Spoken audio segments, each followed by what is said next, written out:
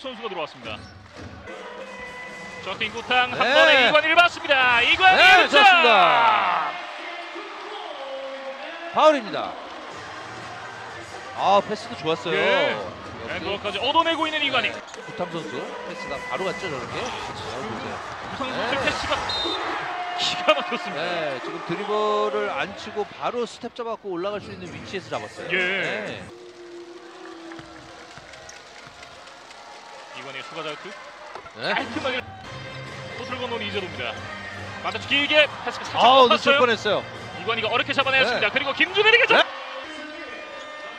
자 지금 그 모비스가 를 맞췄습니다. 네 모비스가 지금 앞서가는 게 지금 굉장히 있거든요. 예. 근데 호흡은 원래 김준희 선수가 커닝 선수하고 잘 맞습니다. 맞아요. 네.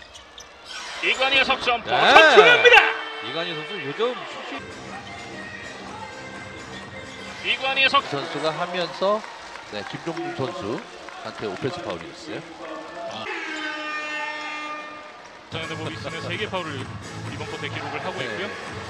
아 지금 이- 이관희 선수와 김용현 선수가 살짝 골이 붙고 있어요. 네.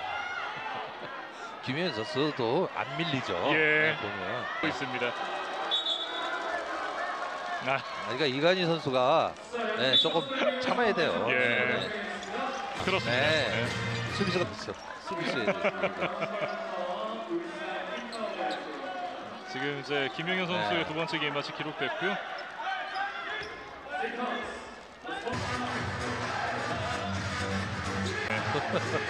네. 선수 좋겠지만. 뭐다 잘하면 좋겠죠. 그렇죠. 예. 그렇게 하기에는 함지훈, 어 공이 흘렀어요.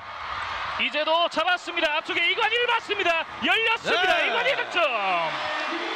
자 함지훈 선수가 패스를 하려고 하다가 이우석 선수가 그냥 오지 않고 아 이렇게 양 팀의 전반전이 마감됐습니다. 40대 30. 이관희 직접 들어갑니다. 블락샷. 그러나 그 과정에서 파울이 선언됩니다. 머리를 네.